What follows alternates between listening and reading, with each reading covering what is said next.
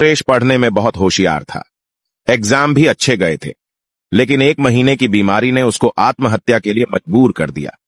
हुआ यूँ कि सुरेश होनहार स्टूडेंट था ठीक ठाक मेहनत करता था और ध्यान से पढ़ता था।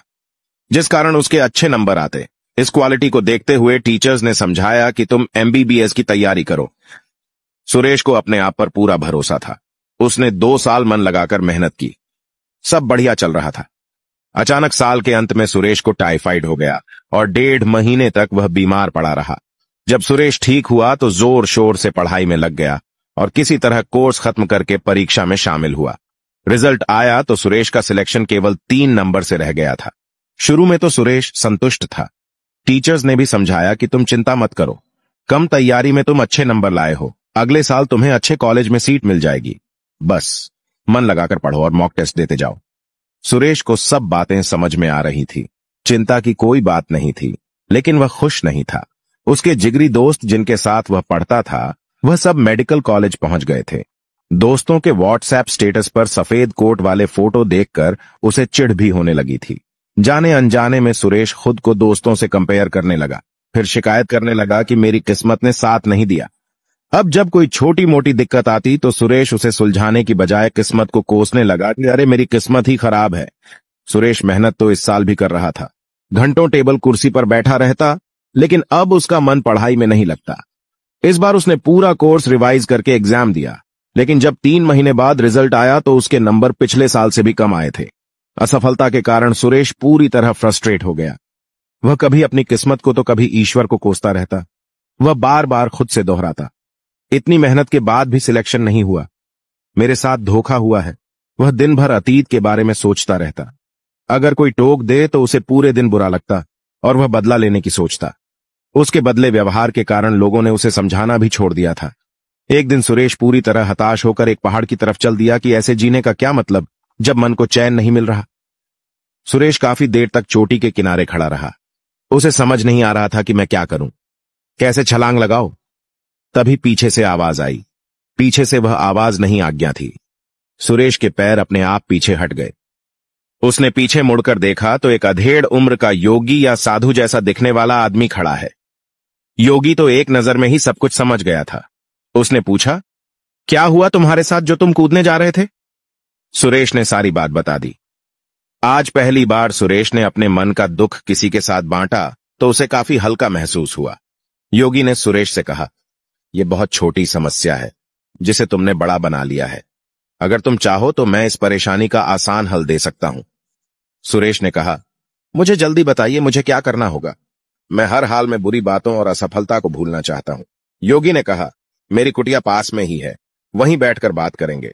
कुटिया के आते ही योगी ने सुरेश को पेड़ के पास बैठाया और अपनी कुटिया के अंदर चले गए। थोड़ी देर बाद योगी बाहर आए। उनके हाथ में एक जलता हुआ दीपक था। उन्होंने सुरेश से बोला हाथ आगे बढ़ाओ और इस दीपक को पकड़ो। योगी ने सुरेश से पूछा, इस दीपक का वज़न कितना होगा? सुरेश ने कहा, कुछ खास वज़न नहीं है। इस दीपक में योगी ने कहा, कुछ देर इस दीपक को यूँ ही पकड़े रहो। बस अपने नज़दीक मत लाना। कुछ देर में ही सुरेश के हाथ दुखने लगे। योगी ने फिर पूछा, अगर तुम इसी तरह दीपक को एक घंटा पकड़े रहो, तब क्या होगा? सुरेश बोला, ऐसा करने से हाथों में दर्द होने लगेगा। योगी ने कहा और अगर दीपक को पूरा दिन पकड़े रहो, तब क्या होगा? सुरेश ने कहा कि हाथ सुन्न पड़ जाएगा। मांसपेशियों में खिंचाव बढ़ जाएगा। योगी ने कहा, क्या इस दीपक के वज़न में कोई अंतर आया है? सुरेश ने कहा, नहीं। दीपक का वज़न तो पहले ही जितना है। योगी ने कहा, जैसे दीपक हल्का होने के बावजूद हाथ को चोट पहुँचा सकता है, वैसे ही छोटी मोटी बात, चिंता न करने वाली बात अगर दिन भर पकड़े रहोगे तो भी अपने आप को भयंकर कष्ट में डाल लोगे। योगी ने कहा, जैसे कष्ट से बचने के लिए आपको बस दीपक नीचे रखना है, वैसे ही तुमको अपनी चिंता और शिकायत को नीचे रखना है। तुम्हारी कहानी चिंता, तुलना, शिकायत से लेकर असफलता और फ्रस्ट्रेशन की है। यह सब तुम्हारे पहले विचार के साथ शुरू हुआ, जब तुमने सोचा कि मैं पीछे रह गया और यह विचार बार बार मन में चलता रहा। और यह विचार बार बार मन में चलता रहा, तब इसने तुलना यानी कंपैरिजन का रूप ले लिया। फिर कंपैरिजन ने शिकायत का रूप लिया।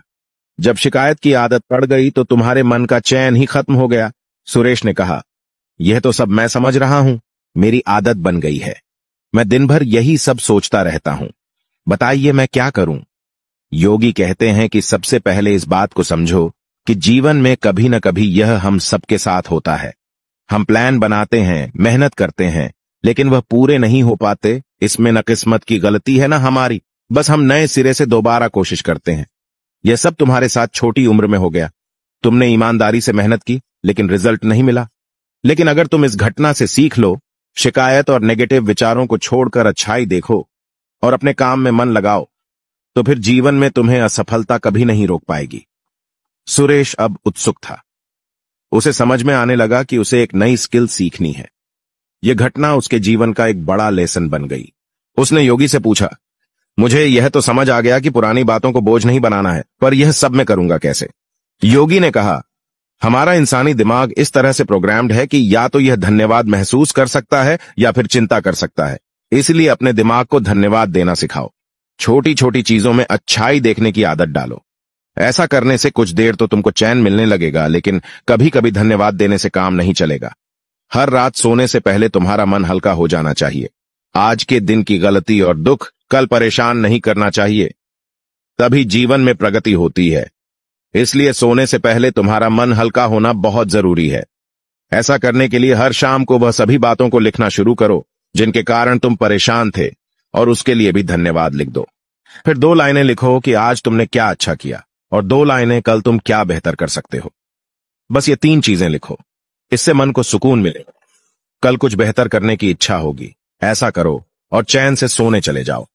इस नाइट रूटीन को अपने जीवन में प्राथमिकता दूँ। ऐसा करने से तुम हमेशा हल्के मुस्कुराते बने रहोगे। हमेशा मन लगाकर काम करोगे और कोई भी बड़ा हादसा या रुकावट तुम्हें परेशान नहीं कर पाएगी। सुरेश आज बहुत खुश था। उसे लगा कि मैं दो साल फेल नहीं हुआ, बल्कि मुझे जीवन का अमूल्य लेसन मिला है। उसे लगने लगा, अब जो भी होगा, जो भी मुश्किल आएगी, मुझे आगे बढ़ाएगी और एक बेहतर इंसान बनाएगी।